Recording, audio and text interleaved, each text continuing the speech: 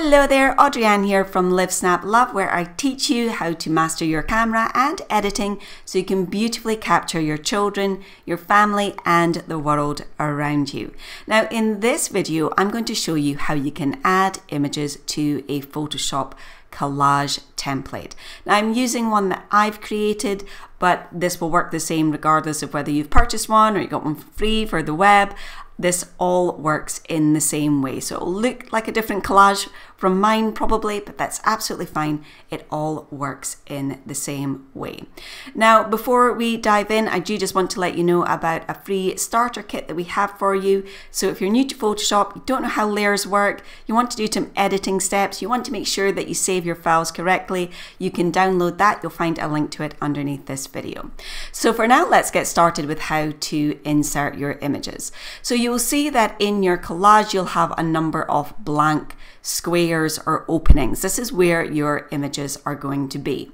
And you'll see that you can see them here on the main area.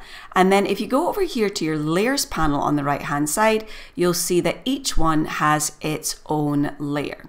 If you're never sure which one it is, you can actually just click this eye on and off and you can see exactly where each one is. So if you're ever confused, uh, you can do that and that will help you easily see which of these openings or apertures that you're working on.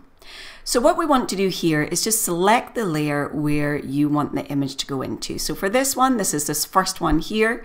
Remember, I can turn that eye on and off. And I want to select that because that's where I want my first image to go. So to insert your image, make sure you have this correct layer uh, selected first of all. Then go up to the top toolbar, click on File, and then go down to where it says Place Embedded and click on that. Now this is where you are going to navigate to where your photos are stored on your computer hard drive. Now I've just popped these next to the collage templates uh, just for easy access, but you're just going to navigate to wherever you have saved your pictures. So I'm just going to click on the one that I want to insert. Make sure that that's selected and then click on place down here at the bottom right. And Photoshop is going to get to work adding this image into my collage template. But as you can see, it's not the right size and it's not inside that box or that aperture, which is what we want to change now. So let's start by changing the side. As you can see, you have these little uh, sort of navigator, little boxes at the side, and as you move your mouse to the corner, it will change, allowing you to pull that in. And you can use any of these. If you need to move it, just move your mouse to the middle here and it'll change to a pointer and you can move that where you wish.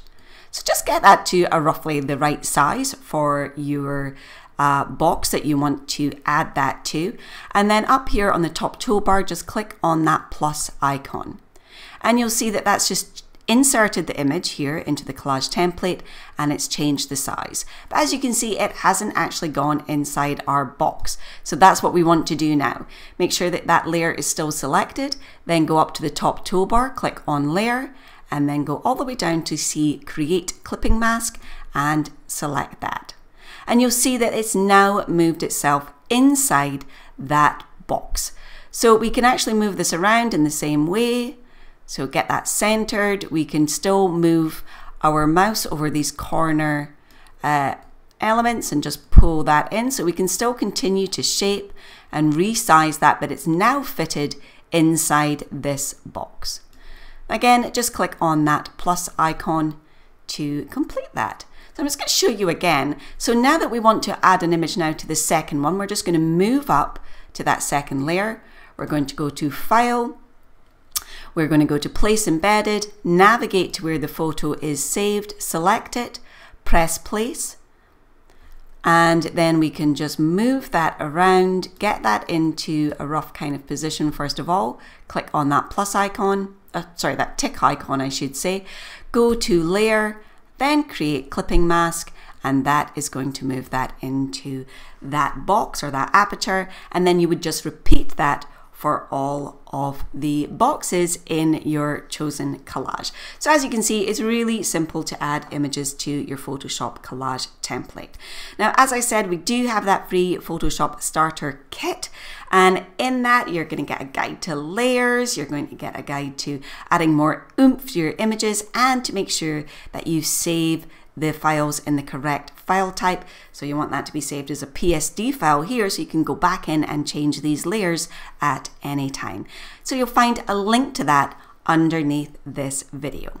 So that's it for me today. Thank you so much for being here and I will see you again in the next video. Bye for now.